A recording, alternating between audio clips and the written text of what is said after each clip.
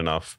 But surprisingly, Najee Harris even showed up. Najee Harris, the ghost of Najee Harris, has returned to Najee's body, and he rushed for nearly 100 yards.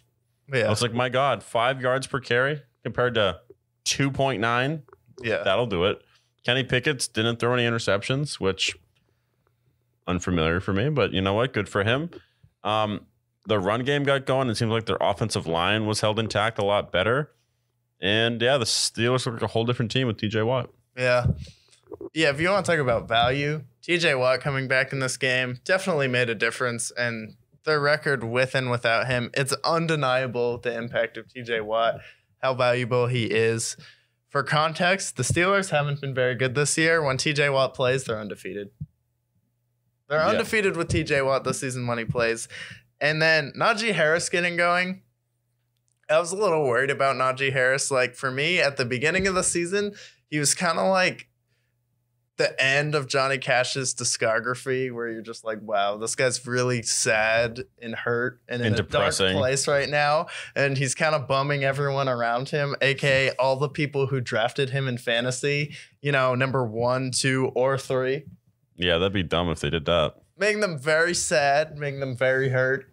Uh, so yeah, it's good to see Najee Harris come out of that dark place he was in. Maybe we get some like more upbeat, maybe some happier stuff from Najee Harris, where you're like, "Wow, Najee's really good." Not Najee, are you okay? Not Najee that We don't you know. need we don't need end of Johnny Cash's discography, Najee. We need Elvis.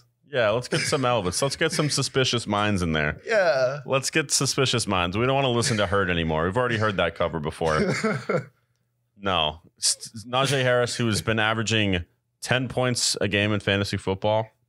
Most people took them, you know, anywhere between one and seven. some people in some leagues, you know, took him third. You know, Some people, I don't know who. yeah, I don't know who. I don't know who either. Really, really painful for that person. God, they probably go to therapy just to talk about, you know, ju- just to talk about Najee Harris. Yeah, I would. Yeah, yeah. it's been brutal. I mean, good lord, that team. The the Steelers have looked really bad, but this gives me hope that they can finish out the season strong. Still, will probably have a losing season for the first time, but you know what? The return of TJ